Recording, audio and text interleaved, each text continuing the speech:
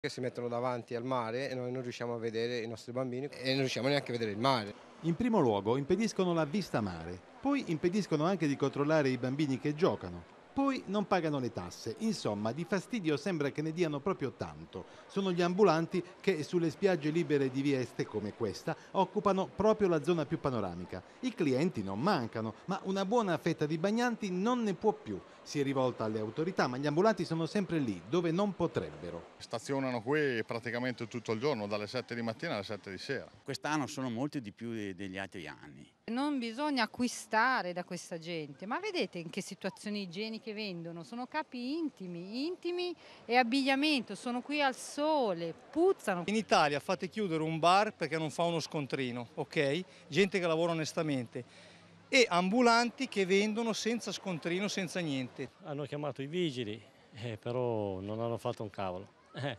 polizia e carabinieri. Praticamente ha fatto il giro di tutti, però sono sempre lì.